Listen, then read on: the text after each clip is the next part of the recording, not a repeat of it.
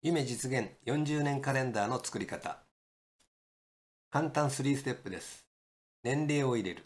次に誕生日に丸印をつける。3番目に夢や目標とその予定日、締め切り日、期限日を書き入れます。あとは毎日目に入るところに貼ってください。ではやっていきます。1、年齢を入れる。ご覧のように年号の横に年齢を書き入れていきます。2、誕生日に丸印をつけてください。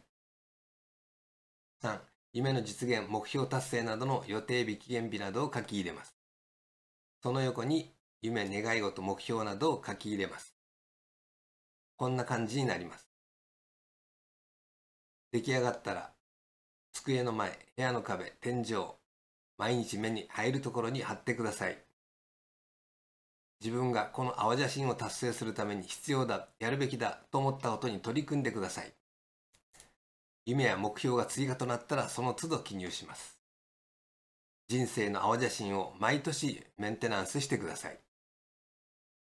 夢実現40年カレンダーで人生を想像してください。ここまでご視聴いただきましてありがとうございました。